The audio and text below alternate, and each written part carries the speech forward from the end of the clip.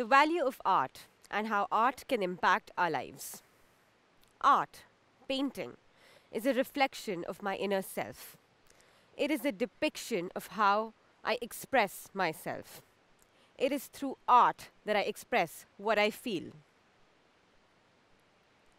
The connection which your mind makes with your hand and the travel of thoughts from your hand to the canvas can create something so colorful, so abstract, and give you so much happiness and satisfaction. I grew up with art.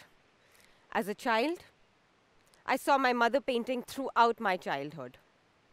Wherever we went, she would carry this little art kit with a sketch pad and colors, and I would sit and paint and doodle and sketch and fill coloring books after coloring books.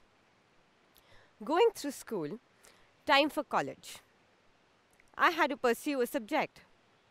And I knew that art was the only thing that I wanted to do. With a huge support from my parents, and I'll tell you why. I went to one of the finest schools of art in Asia, in Shantiniketan, which was started by Rabindranath Tagore, he himself being the patron of the arts music, dance, theatre. I'd like to call Shantiniketan an art village. Everyone there did only art. Everyone there expressed only through art. And being there made me realize that art was the only thing I wanted to do for the rest of my life. Not nationally, not just coming from India, but it's a global phenomenon. Art as a career. How are you going to make a living out of it? Reminds me of an incident. I was once catching up with an old friend, and she says, Hi, Umika, what do you do?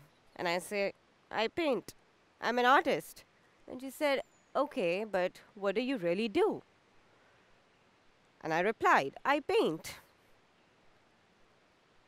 Art has a lot more to do with than just being a mere hobby. And we are yet to get there. For me, art is magical.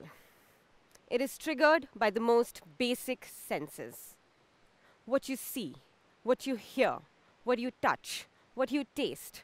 Something so simple can ignite an inspiration to make art. It is powerful. It is a language to which you can express. It is a language that will give you without return.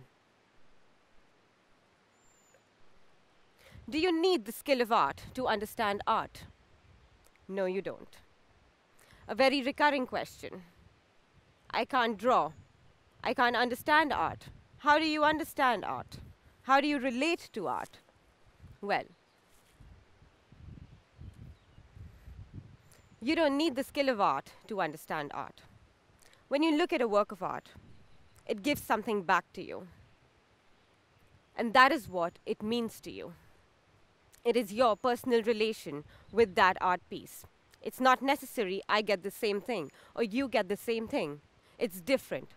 And that is how you establish your relation and meaning of that particular art. I can't teach you how to paint. I can't teach you how to be creative.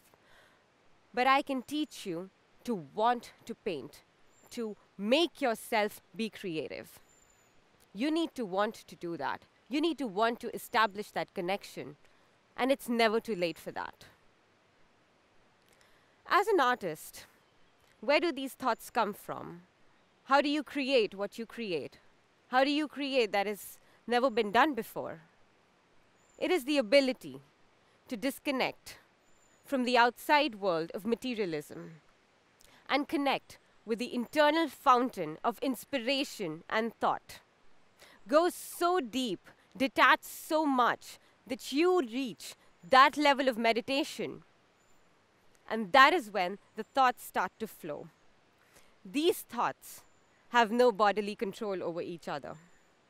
And that is when you're able to create something that has never been done before. Art can create awareness.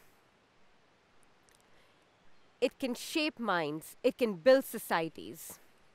As an artist, I always wanted to give back what art gave me. Six years ago, I chose to raise awareness for one such art form that has gotten into the danger of becoming extinct the art form of Thangka, from the religion of Buddhism. An art form that talks only about spreading joy, happiness, be compassionate, be witnesses of this joy, compassion, to be able to create that state of calm in your mind internally, in all the chaos, to be like the lotus flower, a lotus flower that blooms in muddy waters and is untouched by its surroundings. Be independent, express what you feel. Thangkas were done to commemorate these teachings of Lord Buddha.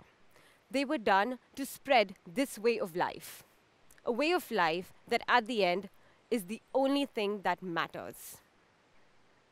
In today's day and age, the monks, the artists, and their generations who painted these Thangkas have fallen into a ditch. Nobody knows about this tradition. Nobody knows these teachings as ways of lives. And the idea was to create awareness for the same. This came to me most when I was in Bhutan. Bhutan that was so close to nature. Thangkas that are the closest to nature.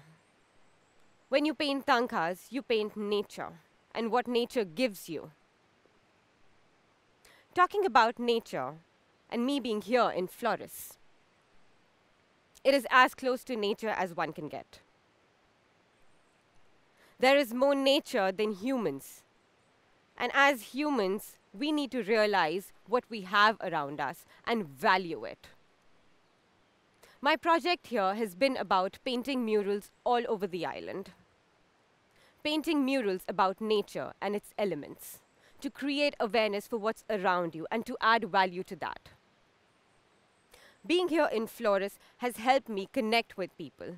It has helped me relate to them. It has helped me help them to want to paint, to come out, to express themselves, to open up. And that is what art can do. It can change your mind, it can change perceptions, it can change the way you look at life, it can make you happier. It's like therapy. Art is a kaleidoscope of new possibilities. Art is my language. It is through which I express my feelings. It is my figure of speech. It is through which I express myself. It is through which I tell my story to the world. The idea is to do so much art that it makes everyone want to do so much art and make your minds and this environment healthier day by day. Thank you.